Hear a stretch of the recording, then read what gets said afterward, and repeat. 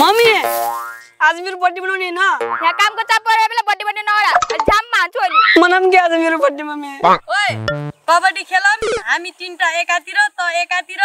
यदि जितिस् भने पक्का तेरो बर्थडे म मनाइदिन्छु